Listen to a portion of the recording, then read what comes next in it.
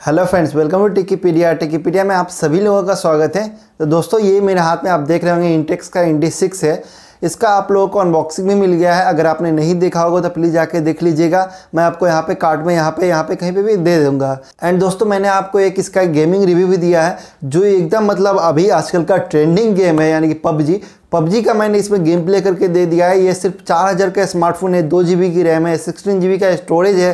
इसमें मैंने आपको और क्वाडको का प्रोसेसर है, ना ही इसमें स्नैपड्रैगन है, ना ही इसमें आपको मीडिया का प्रोसेसर मिलता है, इसमें आपको स्पीड ट्रम का। प्रोसेसर मिलता है जो क्वाड कोर का है, इसमें मैंने आपको पबजी प्ले करके दिया है। तो वो वीडियो भी आप जाके ज़रूर देख लीजिएगा ताकि आपको अच्छे से इसका परफॉर्मेंस समझ में आ जाएगा। वो भी मैं आपको यहाँ पे कार्ट में दे दूँगा, आप जाकर आराम से देख सकते हैं। दोस्तों, इस फ़ोन को यूज़ करते हुए मुझे लगभग काफ़ी दिन, पंद्रह, बीस, पच्चीस दिन के आसपास हो गया हुआ है। तो मैं इसको, इसका रिव्यू करने में और आप लोगों को बताने में काफ़ी हद तक मैं प्रिपर्ड हूँ अभी कि आपको ये फ़ोन परचेज करना चाहिए या नहीं करना चाहिए। आपका अगर बजट चार हज़ार के आसपास होता है तो। तो दोस्तों, इसका टेक्निकल स्पेस स्क्रीन बताते हैं। तो दोस्तों, इसमें आपको फाइव इंच का एचडी डिस्प्ले मिलता है। जी हाँ दोस्तों, इसमें एचडी प्लस नहीं है फुल एचडी नहीं है। एचडी डिस्प्ले यानी सेवन का रेजुलेशन मिल जाता है आपको। अगर दो जी की रैम है सिक्सटीन जी का स्टोरेज है स्टोरेज को आप एक्सपेंड कर सकते हैं माइक्रो एस लगा के बत्तीस जी के आसपास। एंड दोस्तों, इसमें चौबीस मिलियन पर की बैटरी मिल जाती है। इसका मेन जो हाईलाइट है, वो है कैमरा इसका फ्रंट में देखेंगे, दो कैमरा मिल जाता है। डुअल है फ्रंट सेल्फी कैमरा एक एट मेगा का है, एक टू मेगा का है। फ्रंट में बात करूँ तो सिंगल एट मेगा का कैमरा मिल जाता है। राइट साइड में देखेंगे आपको तो वॉल्यूम रॉकर की, यानी कि वॉल्यूम अप और डाउन की मिल जाता है। उसके नीचे में आपको पावर की मिल जाता है, जिसे switch off on restart कर सकते हैं। इसमें थ्री पॉइंट फाइव जैक का सपोर्ट मिल जाता है। और दोस्तों, जैसा कि आप देख सकते हैं लकीली या रिमूवेबल बैटरी यानी कि आप इसको बैटरी को रिमूव करके और इसमें सिम ट्रे का ज़रूरत नहीं सिम डायरेक्ट इंसर्ट कर सकते हैं, जैसे पुराना मॉडल टाइप का ये है। और चौबीस सौ एम का जो बैटरी है, वो बैटरी बैकअप आपको एक दिन का लगभग दे देता है। अगर इसके परफॉर्मेंस की बात करूँ तो मुझे परफॉर्मेंस कैसा लगा? तो बजट के हिसाब से प्राइस के हिसाब से मुझे परफॉर्मेंस में कोई भी प्रॉब्लम नहीं आई। क्योंकि अगर मैंने छोटा मोटा गेम खेला है, मैंने इसमें आपको डेट टारगेट इंस्टॉल किया था, मैंने इसमें ट्रैफ़िक रेशन इंस्टॉल किया था मैंने इसमें सब्बे सर्फर खेला मैंने इसमें कैंडी क्रश खेला। दोस्तों मैंने इसमें छोटा सौ दो सौ तीन सौ तक का गेम खेला जिसमें मुझे एकदम प्रॉब्लम नहीं हुई। हल्का हल्का कहीं कहीं पर बहुत देर खेलने के बाद लैग होता था और थोड़ा सा हीट हो जा रहा था। उसको दोस्तों मैंने जब पबजी किया तो पबजी एकदम लो ग्राफिक में लिया। पबजी में मुझे हैंग और लैग्स का ये प्रॉब्लम सामने आया है। आप आ, मैं फिर से बोला कार्ड में मैंने दे दिया वो वीडियो आप जाके देख सकते हैं। तो ओवरऑल परफॉर्मेंस की बात बोलूँ चार हज़ार में मुझे ये डिसेंट परफॉर्मेंस दे रहा था। मैं इसको ये नहीं बोलूँगा कि प्राइस के हिसाब से इसने काफ़ी कम परफॉर्मेंस दिया। दोस्तों, नहीं, बिल्कुल नहीं। प्राइस के हिसाब से काफ़ी अच्छा परफॉर्मेंस ये मुझे दिया है।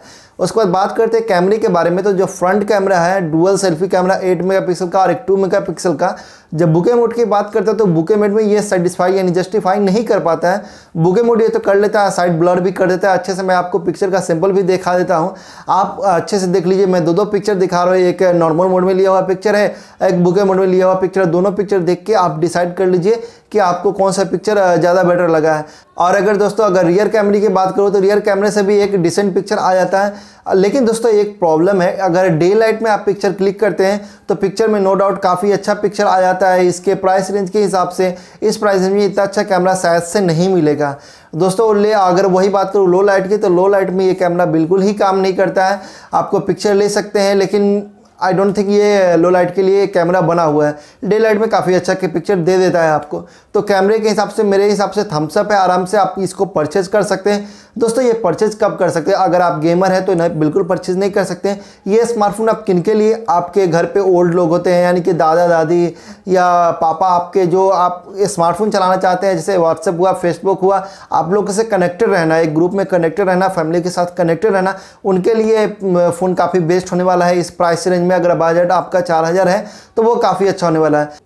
और अगर आप हाई यूजेस हैं मतलब आप बड़ा बड़ा गेम खेलते हैं, और सेल्फी लवर है कैमरा आपको अच्छा चाहिए बैटरी बैकअप काफ़ी अच्छा चाहिए तो दोस्तों, ये फ़ोन आपके लिए नहीं है।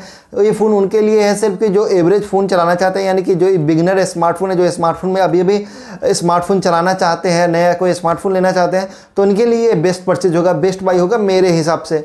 तो दोस्तों, इस वीडियो में मैंने आपको इस इंडिया सिक्स का जो मैंने रिव्यू दिया तो आपको सारा डाउट मुझे उम्मीद है क्लियर हो गया होगा। बैटरी बैकअप की बात करूँ, अगर शॉर्ट में बात करता हूँ बैटरी बैकअप की बात करूँ तो ये वन डे बैटरी बैकअप मुझे देता है, जिसमें मुझे कोई सिंगल चार्ज में वन डे बैटरी बैकअप आराम से मिल जाता है। मैं अगर नॉर्मल यूज़ करता हूँ, मान लो दिन में एक, कभी मैंने पबजी प्ले कर लिया, कभी मैंने व्हाट्सएप फेसबुक चला लिया, कभी मैंने यूट्यूब पर दो चार वीडियो देख लिया तो मेरा ये पूरा एक दिन काट देता है। अगर मैं कंटिन्यू यूज़ करता हूँ ऑन डिस्प्ले यानी कि डिस्प्ले हमेशा ऑन रहता है कंटिन्यू अगर डिस्प्ले देखूँ, यानी कि यूट्यूब पर वीडियोज़ देखूँ या फिर मूवी देखूँ तो मैं अगर मूवी देखने बैठता हूँ तो मुझे दो से ढाई मूवी ये दे देता है सिंगल चार्ज में। अगर मैं फुल चार्ज करता हूँ तो दो से ढाई मूवीज़ में इस स्मार्टफ़ोन में देख सकता हूँ। तो दोस्तों, उम्मीद है ये वीडियो आपको पसंद आया होगा, और इंडी सिक्स ये जो स्मार्टफ़ोन है, उसे परचेस करने के लिए आप पूरी तरह से प्रिपेयर हो गएँगे कि आपके लायक है या नहीं है।